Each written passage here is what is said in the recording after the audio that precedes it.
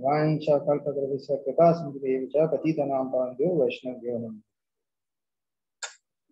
तो आज हमारी चर्चा का विषय है कि चेतन महाप्रभु ने कैसी अपना मंतव्य और शिक्षाएँ षट गोस्वामियों द्वारा प्रतिपादित करी। तो ये इस क्रम में जो है तीसरा आ, सत्र है। भगवान का आह्वान करने के बाद हम मंगलाचरण करेंगे और फिर हम जो है विषय पे चर्चा करेंगे।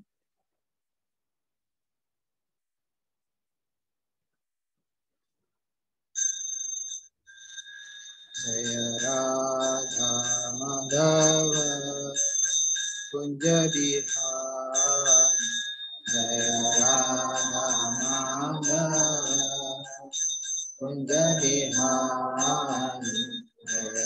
बुद्धि जन वल्लभ गिरवरधारी जय गोपी जन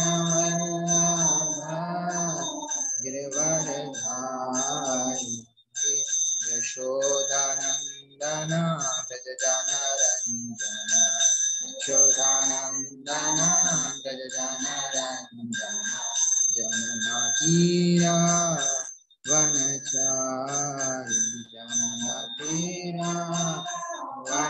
वनचारि जय राधा माधव कुञ्ज बिहारी जय राधा माधव कुञ्ज बिहारी हरे कृष्ण हरे कृष्ण कृष्ण कृष्ण हरे हरे हरे राम हरे राम राम राम, हरे हरे हरे कृष्ण हरे कृष्ण कृष्ण कृष्ण, हरे हरे हरे राम हरे राम राम राम, हरे हरे हरे कृष्णा हरे कृष्णा, कृष्ण, कृष्णा, हरे हरे। हरे राम हरे राम राम राम, हरे हरे। हरे कृष्णा हरे कृष्णा कृष्णा कृष्णा, हरे हरे। हरे राम हरे राम राम राम, हरे हरे। हरे कृष्णा हरे कृष्णा, कृष्ण, कृष्णा, हरे हरे। हरे राम हरे राम राम राम, हरे हरे। हरे कृष्णा हरे कृष्णा कृष्णा कृष्णा, हरे हरे। हरे राम हरे राम राम राम जय जय प्रभुपाद प्रभुपाद प्रभुपाद, जय जय प्रभुपाद, जय जय प्रभुपाद प्रभुपाद प्रभुपाद, जय जय प्रभुपाद। जय जय गुरुदेव गुरुदेव गुरुदेव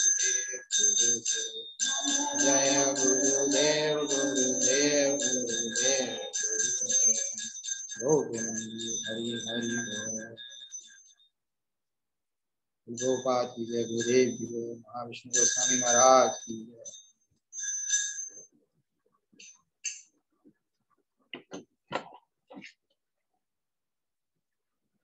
ॐ ज्ञानतिमिरन्दस्य ज्ञानञ्जनशलाख्या चक्षुमितं न तस्मै श्रीगुरुवे नमः।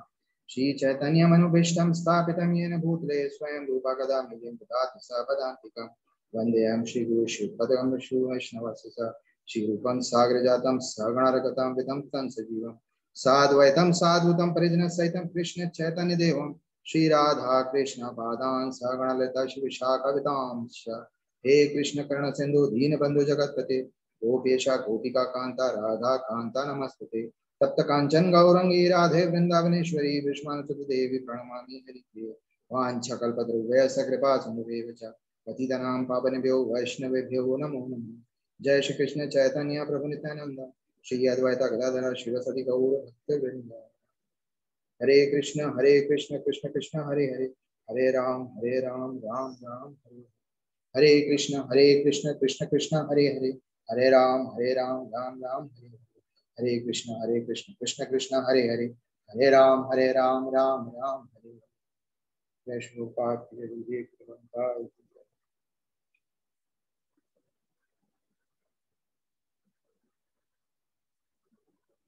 तो ये तीसरा सत्र है, जिसमें हम ये चर्चा कर रहे हैं कि छठ गोस्वामियों का योगदान जो है, हमारी परंपरा में क्या रहा है। तो गोस्वामी जो हैं, जैसा हमने पहले चर्चा करी थी और पढ़ा भी, श्री चैतन्य मनोभिष्टम स्थापितम ये न भूतले, स्वयं रूपा कदा मयम ददात हिस्सा पदांतिका ये हम प्रार्थना में भी बोलते हैं, हमने मंगलाचरण में बोलते हैं। और रूप गोस्वामी जो है, वो भगवान का जो मनोभिष्ट है, जो भगवान का मंतव्य है, जो भगवान चैतन्य चाहते हैं उनसे कराना, कि यहाँ पर भूतल पे जो है तो भक्ति पुनर्स्थापित हो, वह मनोभिष्ट, वह पूर्ण कराते हैं रूप गोस्वामी के नेतृत्व में सारे छठ गोस्वामियों के द्वारा। तो रूप गोस्वामी जो है, नेतृत्व कर रहे हैं सारे छठ गोस्वामियों का, और रूप गोस्वामी का हम आह्वान करते हैं इस बात में तो इससे पहले के सत्र में जो हमने दो सत्र किए, हमने ये चर्चा करी कि ये षट गोस्वामी जो थे इनका परिचय क्या था, ये कहाँ से आए थे? हमने दो जो गोस्वामी है, रूप गोस्वामी और सनातन गोस्वामी, जो वरिष्ठ गोस्वामी है, उनके बारे में चर्चा करी थी और उनके भ्राता अनुपम, उनके विषय में भी हमने चर्चा करी थी। और हमने ये समझा था कि कैसे ये लोग बड़े ही ब्राह्मण परिवार से आए थे और उसके बाद परिस्थितिवश जो है, उनको जो है बलपूर्वक नवाब की सेवा में लगाया गया, नवाब हुसैन शाह की सेवा में और उनको जो है को साकार मलिक और दबीर खास के नाम से जाना जाने लगा। रूप गोस्वामी और सनातन गोस्वामी को। और उनके जो भ्राता थे, छोटे भ्राता श्री वल्लभ वो भी अनुपम मलिक के नाम से जाने लगे। इसके बाद इन्हीं तीनों भ्राताओं ने जो है भगवान की शरण ली और भगवान की शरण लेने के बाद ये इनके प्रकार जो है, पहले तो रूप और अनुपम जो है, वह नवाब की सेवा से उन्होंने पलायन किया, वहाँ से भाग लिए और वृंदावन के मार्ग में जाते समय उनको क्योंकि उनको पता था, उनको ज्ञात था कि जो है चतन महाप्रभु भी पूरी से वृंदावन जा रहे हैं तो उनको प्रयागराज में उनकी भेंट हुई। और प्रयागराज में दस दिन तक जो है रूप गोस्वामी को जो है शिक्षाएँ और अनुपम को शिक्षाएँ जो है चैतन्य महाप्रभु ने दी। तो उन शिक्षाओं के विषय में हमने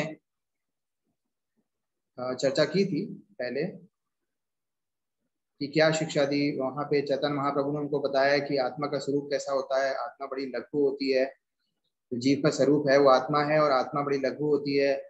एक, बाल के एक अंश का अग्रभाग का मतलब उसकी टिप का एक दस हजारवा हिस्सा होती है आत्मा।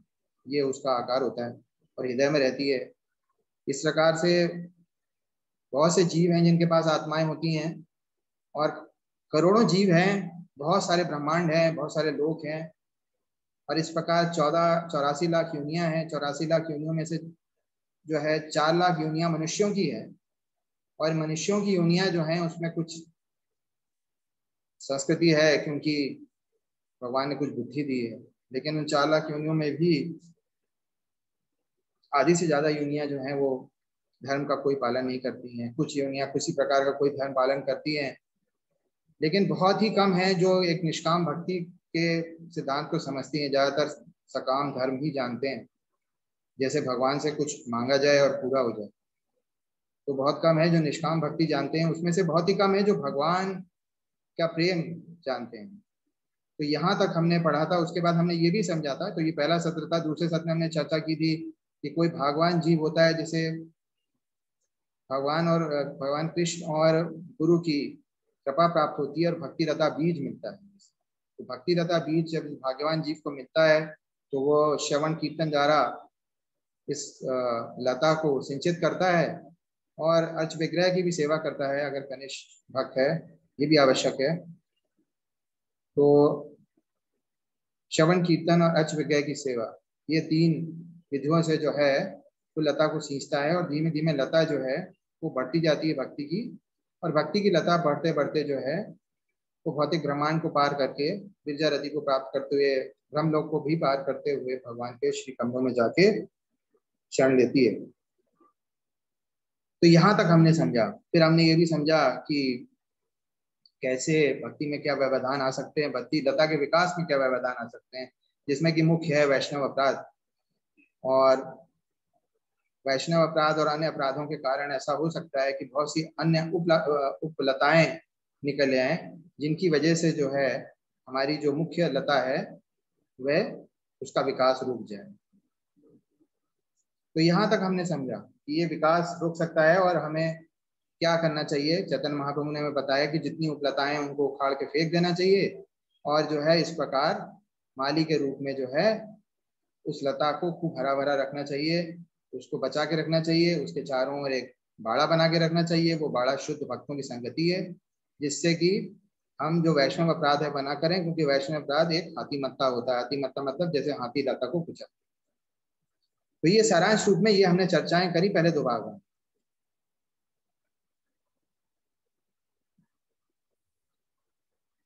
तो अभी तक हमने ये चर्चा नहीं करी कि सनातन गोस्वामी जो है, वो कैसे मिले। और चर्चा का एक भाग और था जिसमें कि भगवान ने बताया कि चैतन्य महाप्रभु ने कि किस प्रकार का संबंध जीव का जो है भगवान से होता है, जब भक्ति लता जो है, वो परिपक्व हो जाती है। तो उसमें फल लगते हैं और उसमें कुछ रस होता है तो पाँच प्रकार का रस होता है। और वो पाँच प्रकार का रस है, शांत रस दास रख रस सखा रस और वात्सल रस एवं माधुर्य रस। तो ये पाँच प्रकार का रस होता है।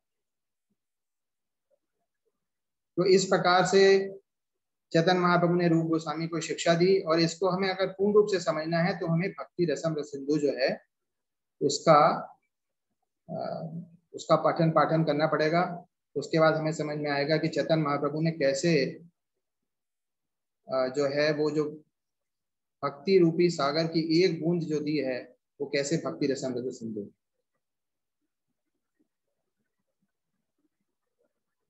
तो अब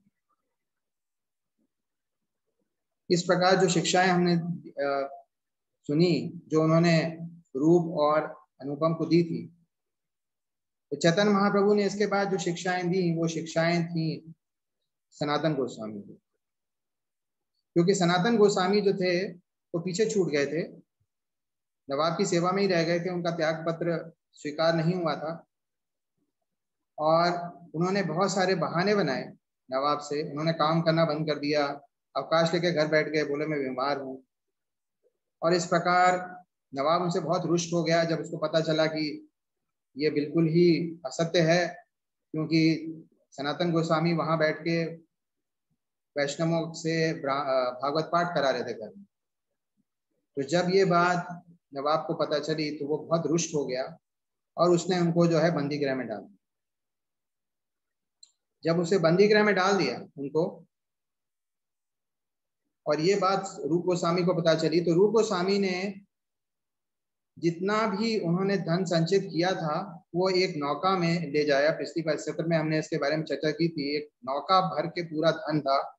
उस नौका को वहाँ से ले गए थे वो, और उस नौका में उसका पचास प्रतिशत जितनी भी मुद्राएँ थी, स्वर्ण मुद्राएँ, उसको उन्होंने जो है ब्राह्मणों और वैष्णवों को दे दिया। उसकी एक चौथाई जो है, वो अपने स्वजनों को दे दी, संबंधियों को।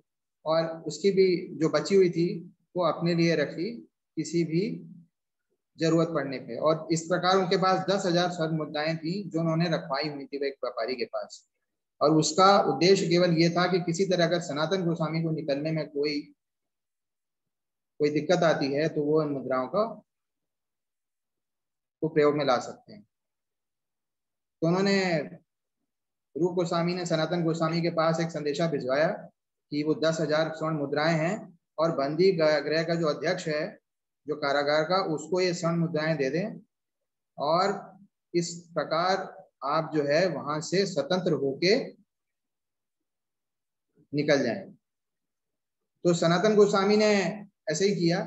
वो दस हज़ार स्वर्ण मुद्राएँ ली और उसको रिश्वत के रूप में इस बंदी गृह के अध्यक्ष को उनको दिया कि आप इसको लीजिए और स्वीकार कीजिए इस धन को और हमको जो है आप जाने दीजिए रिश्वत तो वो बंदी गृह का अध्यक्ष मान गया दस हज़ार स्वर्ण मुद्राओं के लालच में और उसको एक उसको एक कहानी भी बताई कि कैसे आप नवाब को बताएँगे कि क्या हुआ था। तो आप बताइएगा कि जो है बंदी गृह के अध्यक्ष को उन्होंने कहा कि मैं सनातन गोस्वामी को जो है लघु शंका कराने ले गया था गंगा किराने, किनारे और वहाँ से वो नदी में कूद गए और कूद में जाके डूब गए और मर गए।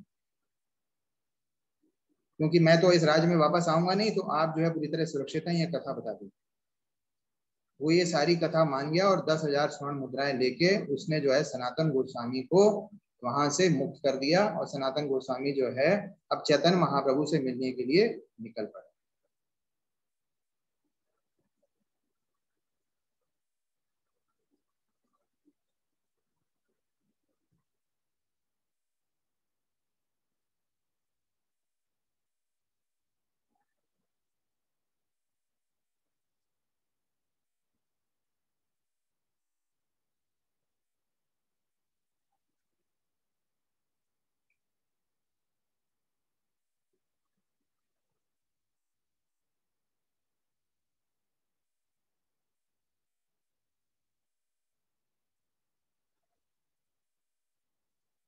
अब इस कथा में हमें थोड़ा सिद्धांत समझना पड़ेगा, क्योंकि हम अगर हम कथा पढ़ते हैं और सिद्धांत नहीं समझते हैं।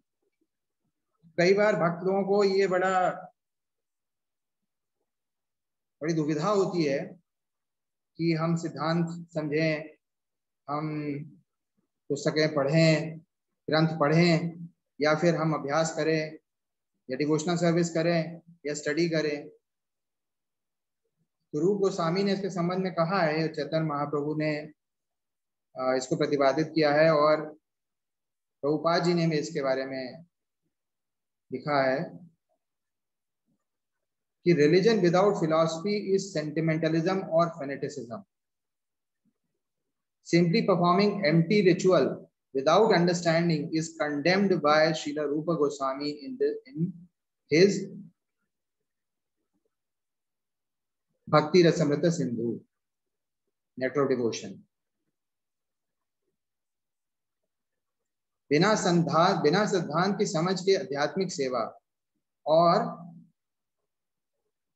अभ्यास, आध्यात्मिक सेवा और अभ्यास भावुकता है, एवं बिना आध्यात्मिक अभ्यास केवल सिद्धांतों का मनन, अटकलबाजी या परिकल्पना या अनुमानी है, पूर्ण यथार्थ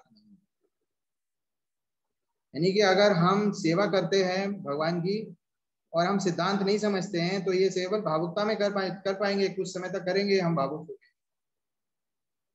और अगर हम सिद्धांतों का मनन करते हैं, लेकिन अभ्यास कुछ नहीं करते हैं, खाली पढ़ते रहते हैं, हम कह रहे हैं हम स्वाध्याय कर रहे हैं, हम खाली ग्रंथ पढ़ते रहते हैं तो क्या होगा?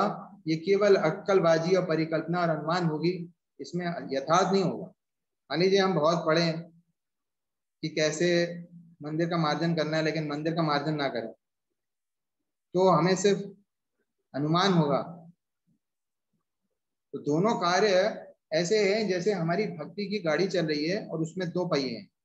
एक है सिद्धांत का पहिया, सिद्धांत की समझ, और दूसरा है हमारी डिवोशनल सर्विस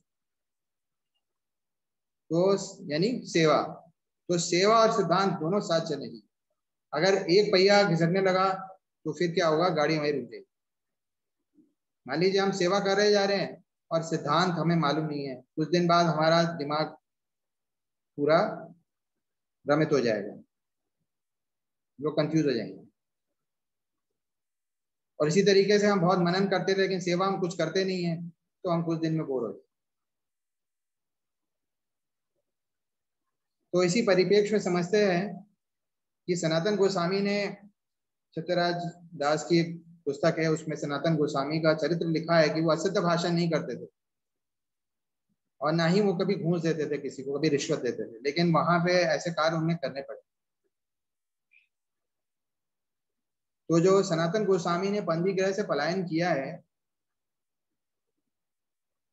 उसको समझना पड़ेगा कि वह दिव्य नैतिकता में आता है, वह लौकिक नैतिकता के नियमों के अनुसार नहीं।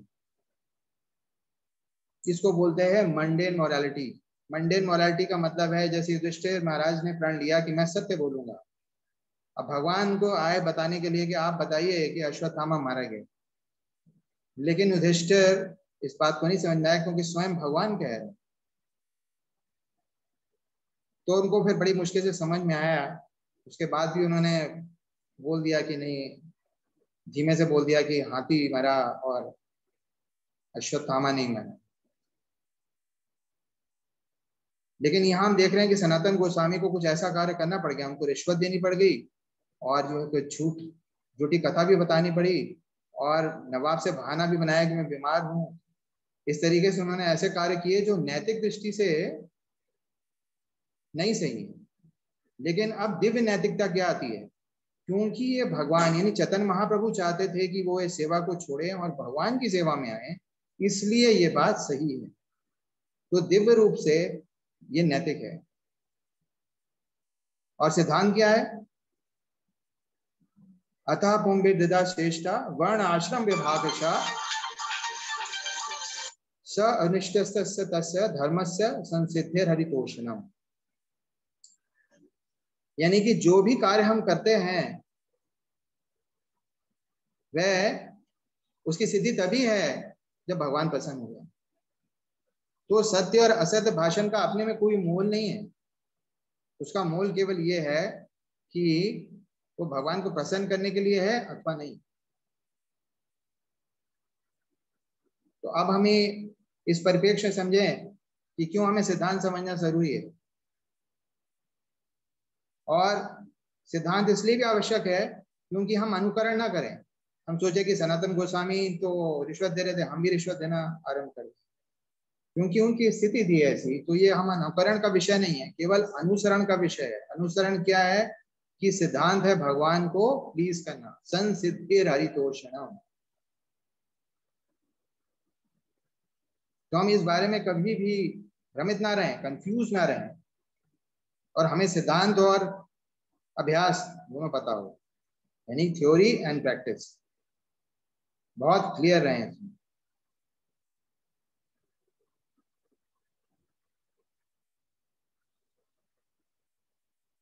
तो सनातन गोस्वामी ने पलायन किया वहाँ से। वे कारागार के अध्यक्ष को रिश्वत देके वहाँ से निकल गए गए।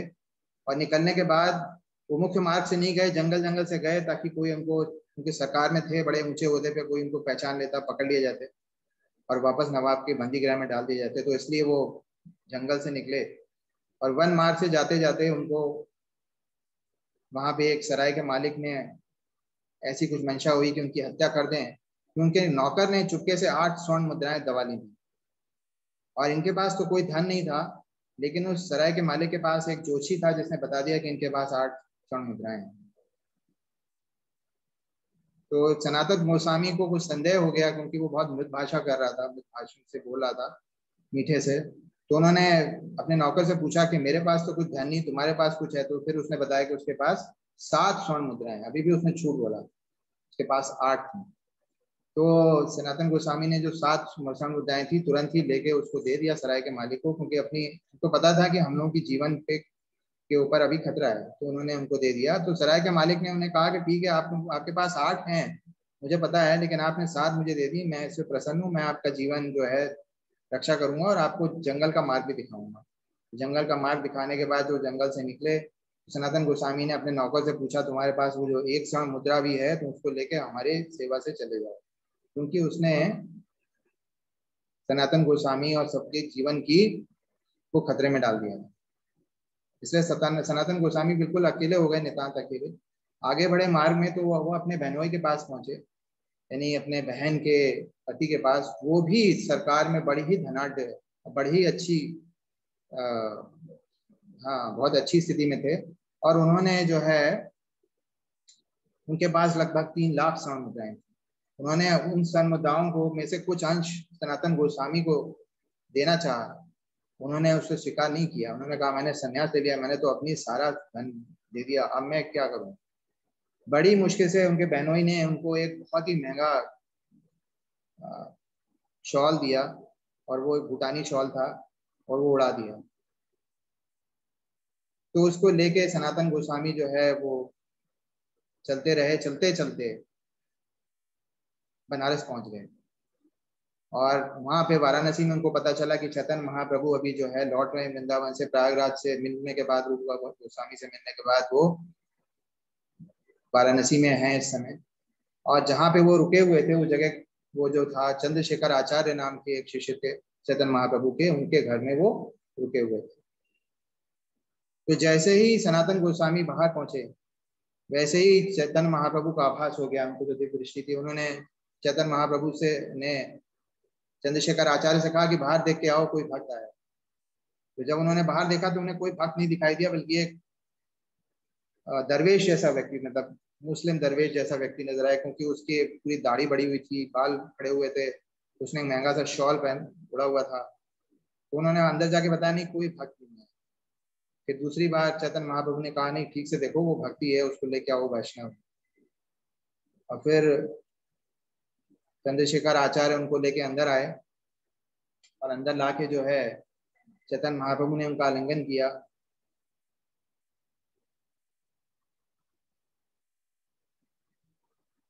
तो इस समय सनातन गोस्वामी ने श्री चेतन महाप्रभु से आग्रह किया कि वो उनको, उनका स्पर्श ना करें, क्योंकि वो बहुत पतित हैं और स्वच्छ नहीं है। लेकिन चेतन महाप्रभु ने कहा कि आप तो भगवान के भक्त हैं और आपका आलिंगन करके मैं धन्य हूँ। उसके बाद चेतन महाप्रभु ने जो है, वहाँ पे जो भक्त थे, तपन मिश्रा और चंद्रशेखर आचार्य, उनसे कह के उनका पूरा छौर कराया मतलब उनके बाल वगैरह कटवाए और उसके बाद उनको वस्त्र दिए गए, वैष्णव वस्त्र उनको पहनाए गए। तो इस प्रकार से जो है सनातन गोस्वामी जो है उनकी भेंट हुई है चेतन महाप्रभु से। और चेतन महाप्रभु बड़े प्रसन्न थे उनके वैराग्य से। जैसे इतने बड़े राजा होके वो भिक्षुक बन के, भिक्षुक बनने के लिए तैयार हो गए। लेकिन फिर भी चेतन महाप्रभु कुछ अपनी दृष्टि से, कुछ उनके आँखों से वो देखते रहते थे उनको, उस शॉल को देखते रहते थे। तो सनातन गोस्वामी से चेतन महाप्रभु ने कुछ कहा नहीं। लेकिन सनातन गोस्वामी सब समझ गए, उनके भाव को।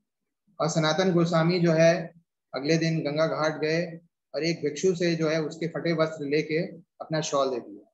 और वो पहन पहन के जब वापस आए तो चेतन महाप्रभु अति प्रसन्न हुए। और उन्होंने उनसे पूछा कि तुमने ऐसा क्यों किया? तो उन्होंने बताया, आप, मुझे लगा कि आपको नहीं अच्छा लग रहा हो। तो चेतन महाप्रभु ने कहा हाँ एक सन्यासी के शरीर पे ऐसे वस्त्र जो है, वो शोभा नहीं देते। तो महाराज एक बड़ी अच्छी बात बोलते थे कि हमारे जो भक्त लोग हैं, उनको सभी को धोती कुर्ता पहनना चाहिए।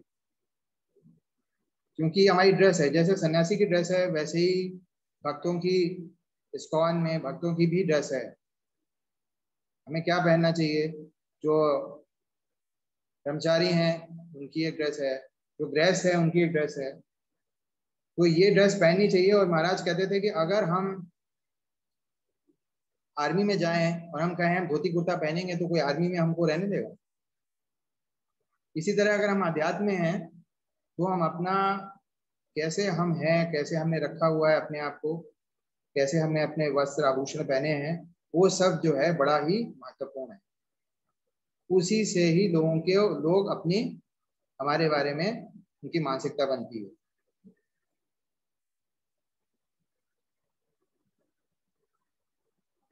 तो चेतन महाप्रभु ने इस तरह से शिक्षा दी उनको कि किस तरह से सन्यासी का आचरण होना चाहिए। और उसके बाद सनातन गोस्वामी ने चेतन महाप्रभु से जो है कुछ प्रश्न पूछे।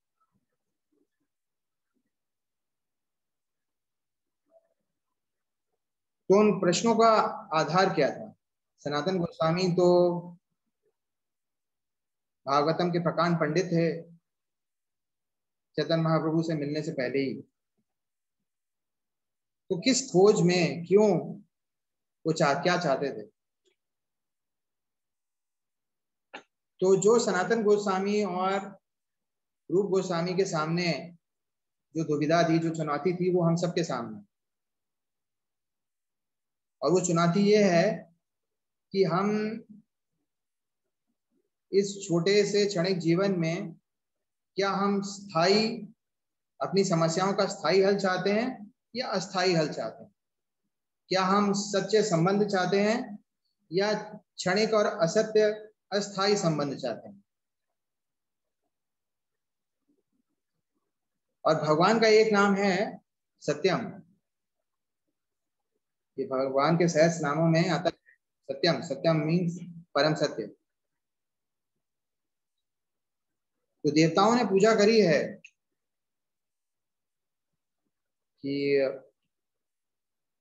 सत्याव्रतम सत्य परम त्रिसत्यम सतस्य योनिम निहितम च सत्य।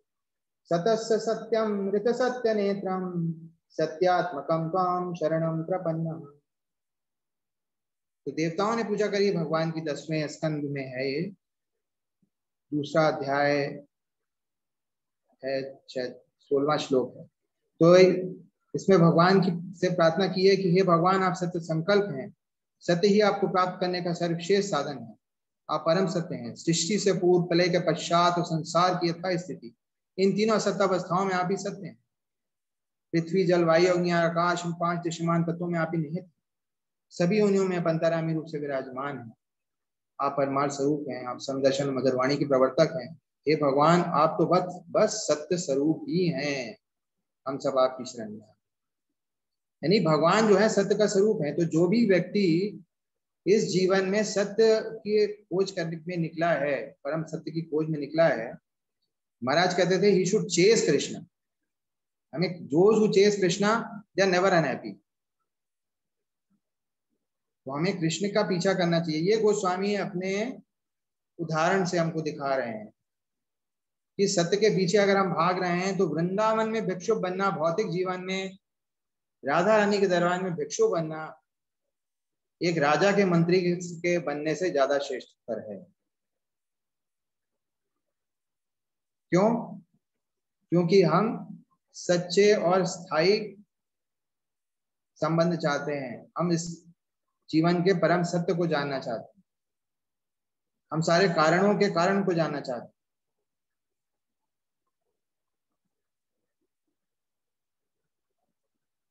तो ये जो भी व्यक्ति अपने जीवन में सिर्फ़ क्षणिक और अस्थाई संबंध और अस्थाई जो भी उसके प्रबंध हैं, उनके ऊपर उसका विश्वास है, वो भगवान को पीछा ना करे। लेकिन जो भी व्यक्ति चाहता है कि वो कुछ ऐसा उस जीवन में करे कि इस क्षणिक जीवन से उसको कुछ शाश्वत हल निकल आए, ऐसा कुछ पता लगे जिससे कि ऐसा कुछ स्थायी हल निकले जो उसके कई आगे आने वाले जीवन में भी काम आएगा तो उसे भगवान को चेस करना चाहिए। उसे सत्य के पीछे भागना चाहिए। श्रीमद भागवतम का पहला श्लोक, पहला खंड, पहला अध्याय। ओम नमो भगवते वासुदेवाय जन्माद्यस्य यथोन्व्यात इतरश्चार्थेषु अभिन्नसराट तेने ब्रह्मा हृदय आदि कव्ये मुयन्ति यत सूर्य। तेजो वारी मृदा मिथा विन्मयत्र सकोमिषा धामना सेन सदा निरस्तकूकम सत्यम परम धीमहि।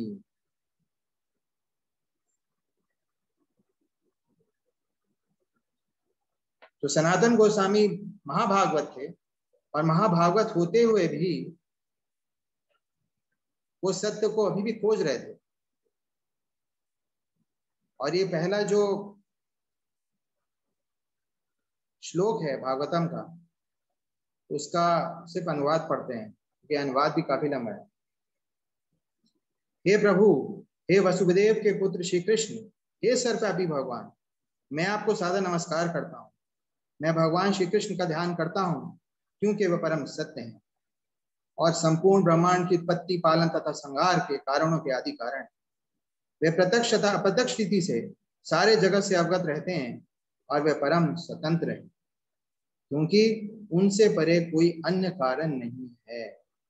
ईश्वर परमा कृष्णा सचिदानंद विग्रह अनादिरादिर गोविंदा सर्व कारण ब्रह्म संहिता का पहला श्लोक।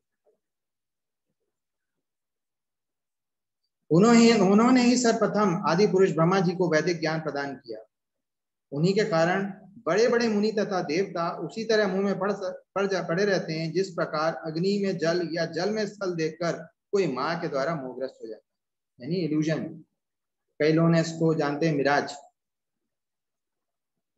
तो बड़े बड़े मुनि मोहित हो जाते हैं भगवान की माया से। उन्हीं के कारण ये सारे भौतिक ब्रह्मांड जो प्रकृति के तीन गुणों की प्रतिक्रिया के कारण अस्थायी रूप से प्रकट होते हैं, अवास्तविक होते हुए भी वास्तविक लगते हैं।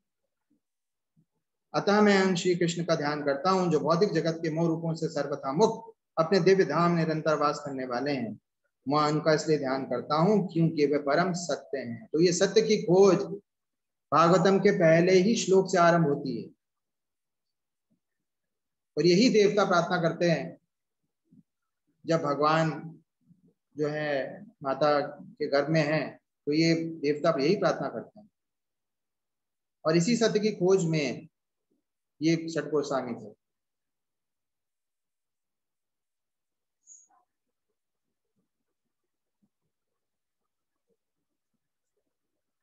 तो क्योंकि ये सत्य की खोज में थे, सनातन गोस्वामी ने चतन महाप्रभु से प्रश्न किया, मैं तो बहुत बड़ा विद्वान माना जाता हूँ, भागवत भी जानता हूँ, भागवतम, महाभागवत माना जाता हूँ। और मैं भी, मैं इतना बड़ा मूर्ख हूँ कि मैंने अपने आप को महाभागवत मान भी ली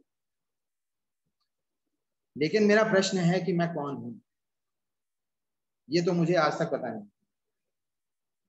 तो चतन महाप्रभु कहते हैं कि आप बड़े मुक्त अवस्था में हैं और आपको सारा ज्ञान है, लेकिन ये प्रश्न आप सभी के लाभ के लिए पूछ रहे हैं। फिर भी मैं आपको बताता हूँ। और ये जो बात प्रभुपा जी लिखते हैं, चतन महाप्रभु ने बोली है, ये श्रीमद भगवत गीता में भगवान ने नहीं बताई थी। भगवान का मंतव्य था बताने का, लेकिन नहीं बताई थी। उन्होंने बताया था कि आत्मा और परमात्मा है और दोनों का संबंध है। लेकिन संबंध क्या है, वो चतन महाप्रभु बताया वो कह रहे हैं, जीवेरे स्वरूप भय कृष्ण नित्यदास कृष्णेरे तटस्थ शक्ति भेदा भेदा प्रकाश। सूर्यांश किरण ये छे, अग्नि ज्वाला चय स्वाभाविक कृष्ण तीन प्रकार शक्ति है। कृष्ण का सनातन सेवक होना ही जीव की वैधानिक स्थिति है। क्योंकि जीव कृष्ण की तटस्था शक्ति है, वे भगवान से एक ही समय में उसी तरह अभिन्न और भिन्न। जिस तरह सूर्य प्रकाश या अग्नि का एक कण कृष्ण की शक्ति तीन प्रकार। तो कृष्ण की शक्तियाँ तीन प्रकार की हैं और ये काफ़ी जो भी भक्तजन इसका अध्ययन कर चुके हैं, जानते होंगे कि तीन प्रकार की भगवान की शक्ति होती है। एक तो भगवान की अपनी शक्ति हिलादमी शक्ति जो है, फिर भगवान की जो भौतिक शक्ति है, जो माया है, जिसमें जो पंचतत्वों से बनी है और जिसमें प्रकृति के तीन गुण हैं। और फिर जीव, जो कि भगवान की तटस्था शक्ति है। तटस्था मीन जो तट पर है। तो ये जीव तो जो भगवान की भौतिक शक्ति है, उसकी गुणवत्ता निम्न है। और जो भगवान की लादनी शक्ति है, उसकी गुणवत्ता ज़्यादा है। लेकिन जब जीव ये सोचता है कि मैं भौतिक शक्ति का, भौतिक शक्ति को आकर्षित हो जाता है तो वो क्या होता है? उस समय वो भ्रमित हो जाता है। कंडीशन हो जाता है। और जिस समय वो भगवान की ओर उन्मुख हो जाता है तो वो भौतिक शक्ति भी उसके काबू में आ जाती है और उसके बाद उसकी अपनी भी जो चेतना है, वो भी बढ़ जाती है, उठ जाती है। तो ये निचोड़ है हमारे जीवन का, कि हमारा जो स्वरूप है, वो कृष्ण का नित्य दास होना है, और जब हम कृष्ण की ओर उन्मुख होंगे तो हमारी समस्याओं का हल होगा।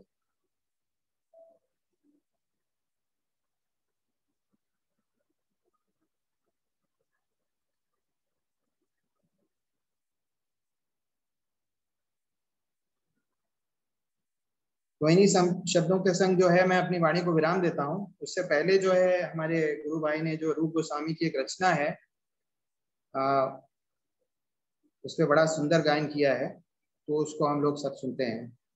और यहाँ पर जो है आ, ये पूरा जो रचित है श्री गोस्वामी के द्वारा यहाँ पे हमने इसको लिरिक्स दे रखी हैं पूरी।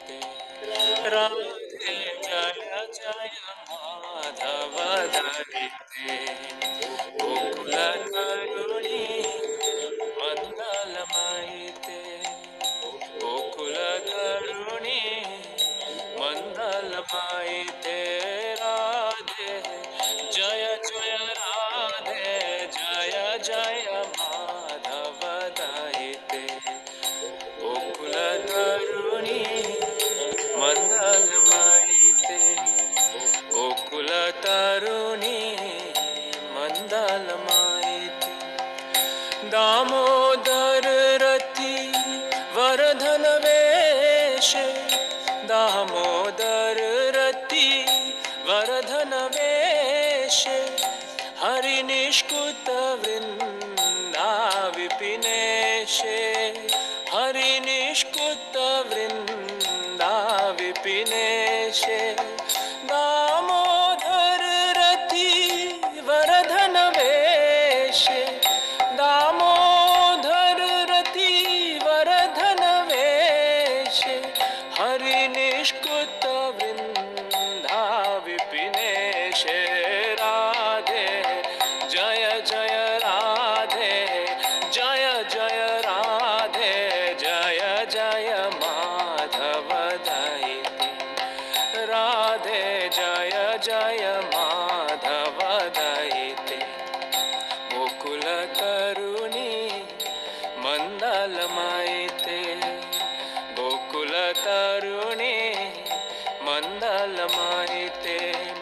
वृषभानुधधि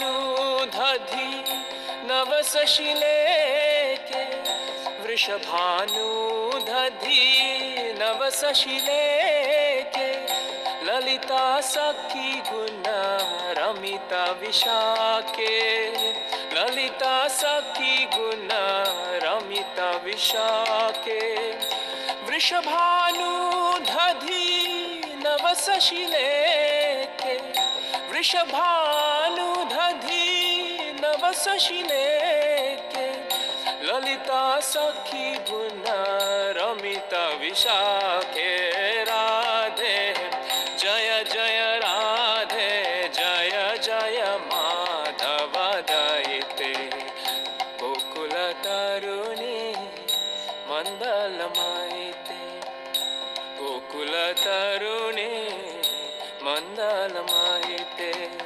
करुणां कुरु मयि करुणमरीते करुणां कुरु मयि करुणभरीते सनक सनातन वरनिचरिते सनक सनातन वरनिचरिते, करुणां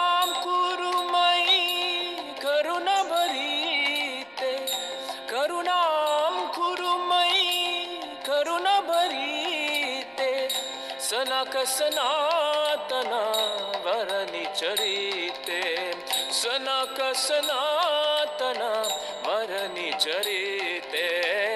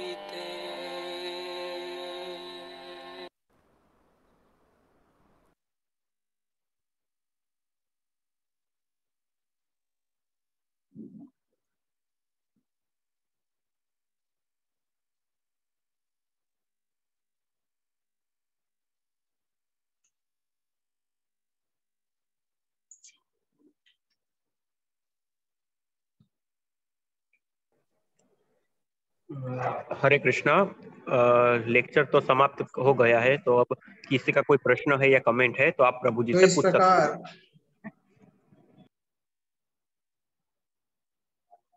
इस प्रकार इस प्रकार हमने देखा कि कैसे चेतन महाप्रभु ने शिक्षा दी कि जीव का स्वरूप क्या है और हम आगे आने वाले सत्र में चेतन महाप्रभु की और भी शिक्षाएँ जो उन्होंने रूप सनातन गोस्वामी को दी, उनके विषय में चर्चा करेंगे। और मेरा अनुरोध है कि सभी लोग अपने जो भी टीका टिप्पणी और जो भी सुझाव, प्रश्न आदि हैं, उनको सामने रखें, प्रकट करें। हरि बोल।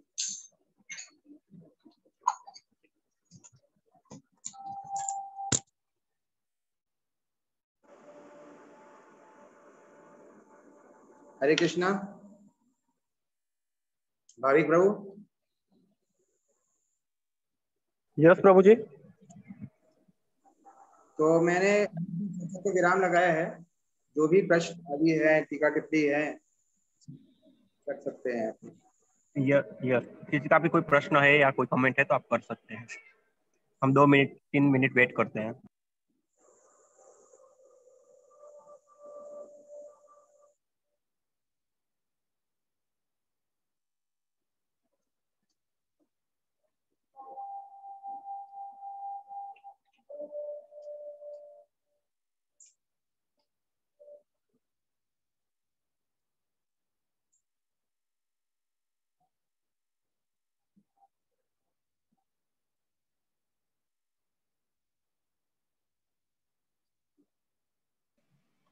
हरे कृष्ण प्रभु जी धन्यवाद और कृष्ण सुनाई दे बोल हरे कृष्णा जय हो। ओ ये यही पूछना था। ये वॉइस देव देवकी नंदन प्रभु जी की थी। जी हाँ जी हाँ। मैंने वो आरंभ करने से पहले बताया कि ये देवकी नंदन प्रभु जी की अच्छा अच्छा बड़ा सुंदर गाया है। ये रूप गोस्वामी की मनोभाव है। राधा रानी के प्रति। और अ, जैसे हमने थोड़ी सी चर्चा करी थी संक्षिप्त में कि जो रूप गोस्वामी है वो आध्यात्मिक रूप से जो है रूप मंजरी का रूप है। वो राधा रानी की लीला में एक मंजरी है जो राधा रानी की सेवा करती है। हम्म, और हम यहाँ पे हम लोगों के लिए वो रूप गोस्वामी है। हम्म, तो इस प्रकार जो है राधा रानी के दर्शन उनको सदैव होते रहते हैं अपने मन में। हम्म, और उन्होंने बड़ा सुंदर वर्णन किया है। कि कैसे राधा रानी कैसी वेशभूषा रखती हैं कैसे कृष्ण को आकर्षित करती हैं और कैसे उनकी जो सहेलियाँ हैं विशाखा ललिता आदि उनके हम्म। संग क्रीड़ा करती हैं तो रूप गोस्वामी ने जो है अ, बहुत से ग्रंथ लिखे हैं और कुछ नाटक लिखे हैं और ये जो नाटक हैं इन नाटकों को जो है चैतन्य महाप्रभु और जितने हमारे चैतन्य महाप्रभु के समकक्ष जो उस समय बड़े बड़े भक्त थे हमारे जैसे हम्म। कि ठाकुर और रामानंद राय नित्यानंद प्रभु तो जब ये नाटक जब इनकी रचना हो रही थी जिसमें राधा और कृष्ण की लीलाएँ हैं और भगवान की द्वारका लीलाएँ हैं हम्म। विधक और ललित माधव नाम के जो नाटक हैं जो रूप गोस्वामी ने लिखे हैं इन लीलाओं में जो नाटक में जो भी लीलाएँ हैं उन सब जो है उन्होंने जो एक प्रकार से रिव्यू है इन सारे भक्तों ने किया, उनसे सुना कि ये क्या आप लिख रहे हैं। उसके बाद जब इनको अच्छे से रिव्यू किया गया तो ये जो है हमारे जो गौड़िया वैष्णव परंपरा है, उसमें इनका बड़ा उच्च स्थान है। जो भी इन्होंने संकलन किया है या जो भी इन्होंने लिखा है तो उन्होंने ग्रंथ लिखे हैं। तो दो जो ग्रंथ हैं, जो सभी भक्तों को बोले जाते हैं, जो रूप गोस्वामी ने लिखे हैं, वो तो है उपदेशामृत और भक्ति रसामृत सिंधु। ये तो सभी को पढ़ने चाहिए। जो कि भक्ति में बढ़े हैं। और जब तक तो थोड़े से बहुत उत्तम अवस्था में पहुँच जाते हैं तो उनको ये नाटक भी उनको पढ़ने चाहिए। उसके अलावा उज्जवल नीना मणिराम की एक और ग्रंथ उन्होंने लिखा है। लेकिन इन सभी ग्रंथों में उन्होंने ऐसी गुह्य लीलाओं का वर्णन किया है, जो कि उसी के लिए संभव है जो राधा कृष्ण की लीला में प्रवेश कर गया हो। तो राधा कृष्ण की लीला में जिसने प्रवेश नहीं किया हो, वो संभव नहीं कि उस तरह से वर्णन कर पाए। और ऐसे बहुत से प्रकरण है जिसमें कि उन्होंने ऐसे ऐसे वर्णन किए हैं जो और कोई व्यक्ति नहीं कर सकता। एक बार उन्होंने जो है लिखा कि जो राधा जी की चोटी है, वो ऐसी है कि जैसे कि कोई नाग। सनातन गोस्वामी जो है इस बड़ा, इस बात पे बहुत बुरा मान गए। उन्होंने कहा, ये तो बड़ा अपराध है कि आपने इस तरह का वर्णन किया लेकिन कुछ समय बाद सनातन राधा रानी के ऐसे दर्शन हुए और फिर उनको समझ में आया कि ये बात सही थी। तो हमारे जो परंपराओं में इस बात की बहुत चर्चा ये देख सकते हैं कि हमारी परंपरा में जो है, जितनी भी मिस्टिक ट्रेडिशंस हैं, उसमें बहुत ही बड़े चढ़े हैं। प्रभुपाद जी इनके बारे में बहुत चर्चा नहीं करते, क्योंकि जो व्यक्ति कनिष्ठ है, उनको अपना श्रवण, कीर्तन और अर्च विग्रह की सेवा में ध्यान देना चाहिए। लेकिन अगर इनको इसका कुछ कुछ आस्वादन लेना है तो हमें कृष्ण बुक में से मिल सकता है कि प्रभुपाद जी ने लिखा है कि मैंने अपनी कृष्ण बुक में दसवें स्कंद का जो लीलाएँ वो सारी लिख दी हैं। तो उसमें से हमें कुछ इसका मिल सकता है और इसके बाद कुछ आस्वादन हमको भक्ति रसमृत सुंदर उपदेशामृत से भी मिल सकता है। उपदेशामृत तो खैर हम लोगों के लिए नेटवर्क इंस्ट्रक्शन है देखते हैं भक्ति रसमृत सिंधु में से हम समझ सकते हैं कि किस प्रकार से रस होते हैं और क्या लीला है।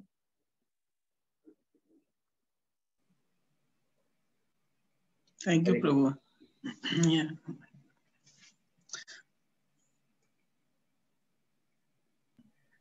हरे कृष्णा, किसी और का कोई प्रश्न या कमेंट है?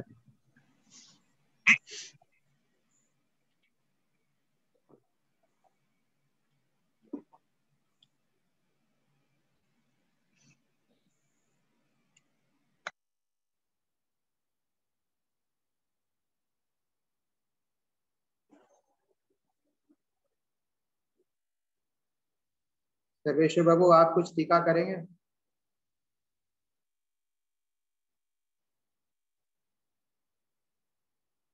राधा और कृष्ण की लीलाओं के बारे में जो गोस्वामियों ने जिनका वर्णन किया प्रभु जी धन्यवाद प्रणाम। प्रणाम। टीका क्या करना है? इतना सुंदर आपने वर्णन किया और हमारे इन गोस्वामियों के बारे में भला क्या कहा जा सकता है? इनका वैराग्य चरमतम सीमा पर था। एक प्रश्न उठता है कि शिला सनातन गोस्वामी रूप गोस्वामी और जितने अन्य षड गोस्वामी गण हैं, इन सबने वैराग्य लिया और बहुत बड़े बड़े पदों पर थे, इतनी संपत्ति थी, सबका इन्होंने परित्याग कर दिया। तो ऐसा लगता है कि उस समय तो इनको साक्षात भगवान का दर्शन हुआ था और भगवान का साक्षात दर्शन किसी को हो जाए तो उसको संसार छोड़ने में शायद उतनी कठिनाई नहीं होगी। तो आज के परिवेश में कैसे किया जाना चाहिए? हमें तो साक्षात भगवान का दर्शन हो नहीं रहा है। ठीक है, हम भागवत के माध्यम से, अर्चा विग्रह के माध्यम से भगवान का दर्शन कर रहे हैं। लेकिन क्या वो वो अनुभव हमको कभी हो पाएगा कि हम साक्षात भगवान का दर्शन ही कर रहे हैं और हमको भी उसी तरह वैराग्य ले लेना चाहिए, जिस तरह हमारे इन षठ गोस्वामी आचार्यों ने लिया, या शिला प्रभुपाद जी ने लिया, हमारे गुरुदेव ने लिया। तो ये भावना हमारे मन में कब आएगी और कैसे आएगी? और किस तरह इसको समझा जाए? प्रभु जी, मैंने थोड़ा बहुत मनन किया था इसके ऊपर। मेरा थोड़ा सा कुछ विचार है, आप बताइए ये सही है कि नहीं? मुझे ऐसा लगा कि ये जो षट गोस्वामी हैं, क्योंकि ये मंजूरियों का स्वरूप है, इनके लिए संभव है ये कार्य करना। और ये कार्य इन्होंने जो किए हैं, उसके वजह से इन्होंने एक प्रकार का हमें एक जिसने, जैसे वैष्णव सिद्धांत उन्होंने रखे, कई मंदिरों का निर्माण किया, उन्होंने एक परंपरा दी, जिसकी वजह से जो लोग इस भौतिक संसार में फंसे हुए हैं, जैसे गृहस्थ हैं और जो भी जो भी निकल नहीं सकते, जो संन्यास नहीं ले सकते तो उनको लाभ हो। तो हम उनके अनुसरण कर सकते हैं उनकी शिक्षाओं का, अनुकरण तो नहीं कर सकते। क्योंकि अनुकरण करना तो लगभग असंभव है, क्योंकि रघुनाथ दास गोस्वामी के विषय में मैं पढ़ा था, केवल एक गलसिया मठा लेके वो करीब चालीस साल तक वो काफ़ी स्वस्थ रहे। वो भी आधी गिलास आधी गिलास या आधी गिलास छोटा गिलास का आधा वो मट्ठा लेते थे नाम के लिए भगवान का प्रसाद। हम लोग चालीस साल कैसे रह सकते हैं स्वस्थ? वो स्वस्थ ही नहीं थे बल्कि थे और उसके बाद ग्रंथ भी लिखते थे। और मंदिरों का भी निर्माण करते थे। मंदिर भी उद्घाटन किए उतनी ही खुराक से। तो ये तो वो दिव्य जीव हो नहीं कर सकता है। हम लोग केवल उनका अनुसरण कर सकते अनुसरण नहीं कर सकते। तो हम लोगों के मन में निष्ठा आए कैसे कि ऐसा करना चाहिए? वो उनका अनुसरण तो कर रहे हैं।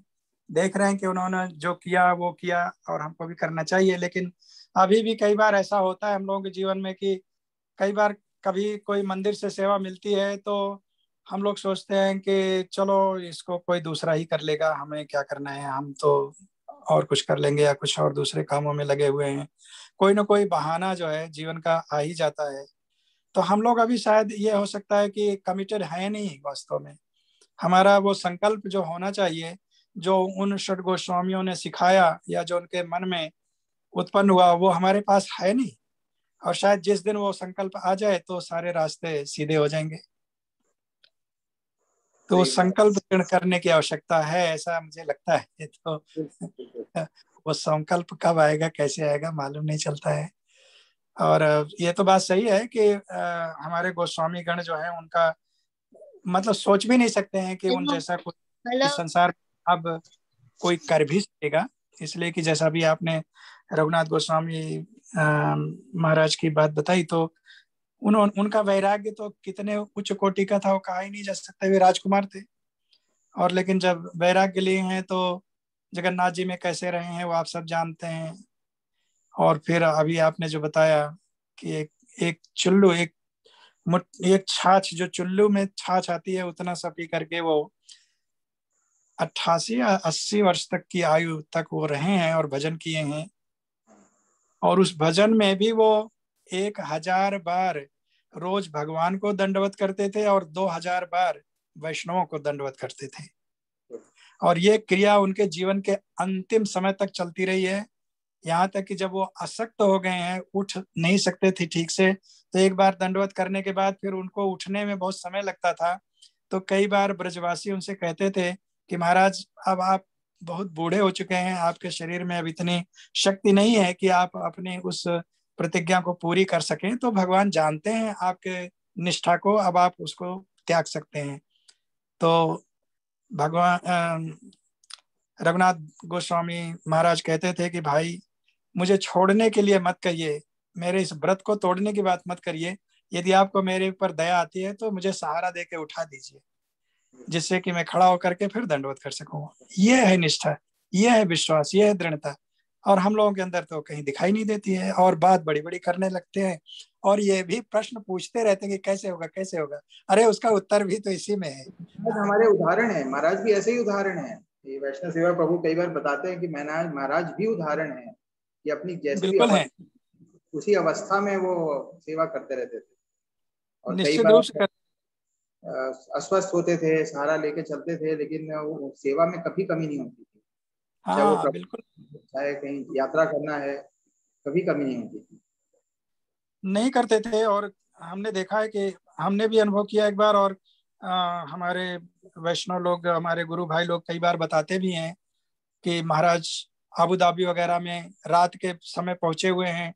उसी समय वो बैठ करके भागवत क्लास चालू कर देते हैं और मंगल आरती तक फिर जग जाते हैं। फिर उसी समय चालू हो जाता है। मतलब उनको थकावट जैसी कोई वस्तु थी ही नहीं उनके जीवन में। और हमने भी देखा यहाँ पर अलाचुआ में, महाराज अभी अभी इंडिया से ट्रेवल करके आ रहे हैं। एयरपोर्ट से उनको पिक करके यहाँ पर राधा जीवन प्रभु के घर पे ले आए थे हम। और ले आने के बाद वो बैठे हैं और बैठने के बाद उनको जलपान करना ये करना वो करना दुनिया भर की चीज़ें जो है कुछ नहीं। अभी कमरे में आए हैं और बैठे हैं उसके बाद कहते हैं कि वो भागवत दिखाई दे रहा है उसको उतार के ले आओ। जी जी और जी। उतार करके बस कहते हैं कि यहाँ से पढ़ना चालू करो। ये है महाराज हमारे वो उन्होंने सिखाया है और निश्चित रूप से हम सबको उसका अनुसरण करना चाहिए पालन करना चाहिए लेकिन कितनी दृढ़ता से हम उसका पालन कर रहे हैं कहते हैं कि हम कर रहे हैं लेकिन शायद कर नहीं रहे हैं। यदि कर रहे होते तो ये प्रश्न जो हम पूछ रहे हैं वो पूछते ही नहीं। पूछने की आवश्यकता ही नहीं थी। जी। और उसका उत्तर भी यही है कि करो करो करो। पूछो नहीं करो। जब करोगे तभी उसका उत्तर मिलेगा नहीं तो पूछते रहो जीवन भर पूछते रहो। उसका उत्तर कभी आने वाला है नहीं। उत्तर तो है सामने ही रखा हुआ है। आचार्यों ने करके दिखाया है तो करो भाई आप भी करो सीखो। अब करते तो हो नहीं पूछते रहते हो कि कोई घोंट करके एकदम से मुँह में डाल दे और बस सब ठीक ठाक हो जाए। तो ऐसी कोई घुटी घुटाई जो है जड़ी बूटी नहीं है कि उसको लेकर के और प्रश्न पूछा और वक्ता ने या आचार्य ने घोट करके पिला दिया और हम स्वस्थ हो गए और बस सारा काम ठीक हो गया। ऐसा नहीं है। अभ्यास की ज़रूरत है और उस पर निष्ठा और विश्वास ले आकर के करने की ज़रूरत है। जहाँ पूछा, फिर भी हम पूछते रहते हैं। वास्तव में पूछने की आवश्यकता नहीं। हम लोग पूछने के दौर से गुजर चुके हैं, ऊपर उठ चुके हैं। इस समय करने वाला दौर है। इसको कैसे किया जाए इम्प्लीकेट कैसे किया जाए? वो करना है। और इम्प्लीकेट करने वाला ये भी प्रश्न पूछना ठीक नहीं है कि कैसे किया जाए। वो हम जानते हैं, करो करो करो। स्वयं को करना है। ये हमको करने की, इस स्थिति में है हम लोग। प्रश्न पूछने की स्थिति में नहीं है। करने की स्थिति में तो मैं क्या बताऊँ, प्रभु जी, आपने इतना अच्छा वर्णन किया और इन आचार्यों के बारे में गोस्वामी गण के बारे में। ये तो पढ़ करके, इनकी जीवनी को पढ़ करके रोमांच हो जाता है कि कैसे इन्होंने भगवान की दृढ़ भक्ति की। तभी तो ये पूजनीय है। संसार में इनकी पूजा रोज होती है, क्यों होती है? यदि इन्होंने अपने इस त्याग को हम लोगों के सन्मुख नहीं प्रकट किया होता तो आज जो 24 घंटे पूरे विश्व में इनकी आरती होती है, कैसे होती? इसीलिए हो रही है। इन्होंने त्याग किया और हम लोग जो है, त्याग तो करते नहीं है, पर चाहते हैं कि हमारी भी आरती होती रहे। तो ये ये हमारी मूर्खता है। बहुत बहुत धन्यवाद प्रभु जी, आपने सुंदर ये चर्चा शुरू की है और इसमें हम लोगों को बहुत बहुत प्रेरणा मिल रही है रोज। धन्यवाद, प्रणाम। हरे कृष्णा।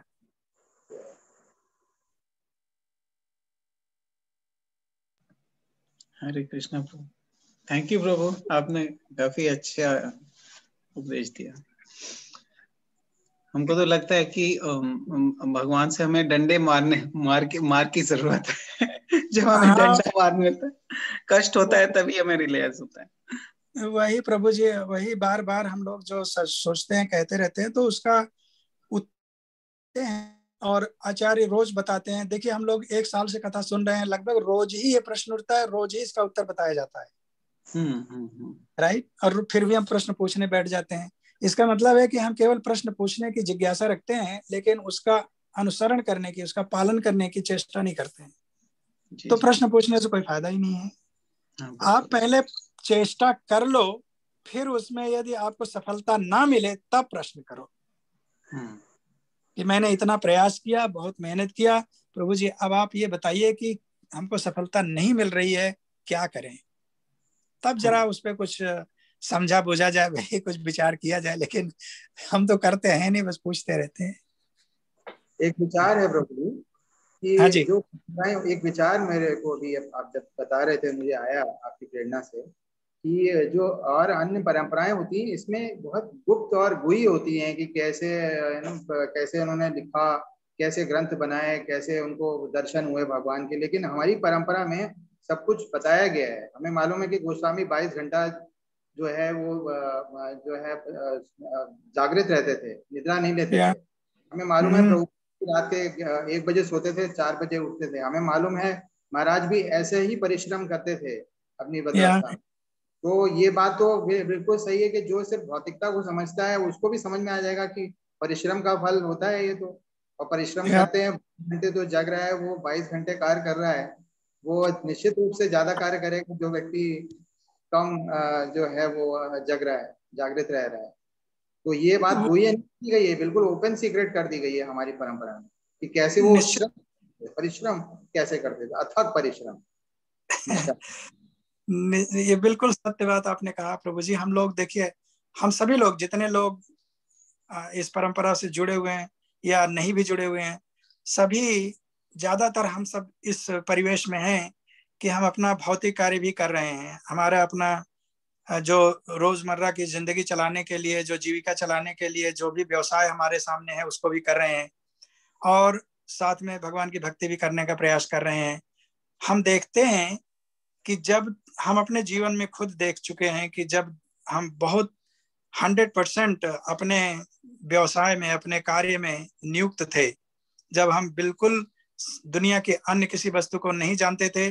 24 घंटे अपना रिसर्च में रहना और साइंस को पढ़ना और पढ़ाना, इसी को किया करते। तो बहुत सफलताएँ मिलती रही, बहुत कुछ आगे बढ़ते रहे। लेकिन जब से गुरु महाराज के दर्शन हुए, थोड़ा बहुत ज्ञान प्राप्त हुआ कि ये सब तो चीज़ें यहीं रहने वाली हैं, अब जरा भाग और मुड़ो। तो जब से फिर ध्यान जो है दोनों तरफ़ बटने लगा तो निश्चित रूप से अब जो कार्य हम उस समय कर लिया करते थे, हम नहीं कर पा रहे हैं। तो जो सफलता उन दिनों मिलती थी वो नहीं मिल रही है, लेकिन उन दिनों अगर थोड़ी सी असफलता मिल जाती थी तो बहुत दुख होता था। और आज बड़ी बड़ी असफलताएँ मिल जाती हैं तो भी प्रसन्न रहते हैं, दुख नहीं होता है। जान गए हैं अब कि उसमें क्या रहस्य है। तो ये बिल्कुल सत्य है कि आप किसी भी, चाहे वो भौतिक जीवन में हो, चाहे आध्यात्मिक जीवन में परिश्रम तो करना पड़ेगा। और उसके लिए यदि हम आधे मन से काम करेंगे तो आधी सफलता मिलेगी और पूरे मन से करेंगे तो पूरी सफलता मिलेगी। ये तो निश्चित है। तो अब दो नाव पे पैर रखेंगे तो डूबेंगे तो सही, गिरेंगे तो सही तो एक तरफ़ हो जाना चाहिए। पर अभी अभी जो है दोनों नाव पे हम स्वयं चढ़े हुए हैं तो भला दूसरे को क्या बोल सकते हैं? तो इसलिए हम भी प्रयास कर रहे हैं कि इस एक नाव को छोड़ें जल्दी से जल्दी और बस दूसरी नाव को पकड़ लें जिससे कि भगवान कुछ कल्याण करें। नहीं तो बड़ा मुश्किल लग रहा है प्रभु जी बहुत ही मुश्किल लग रहा है। Welcome to Shri Shri Radha Neel Madhav Dham.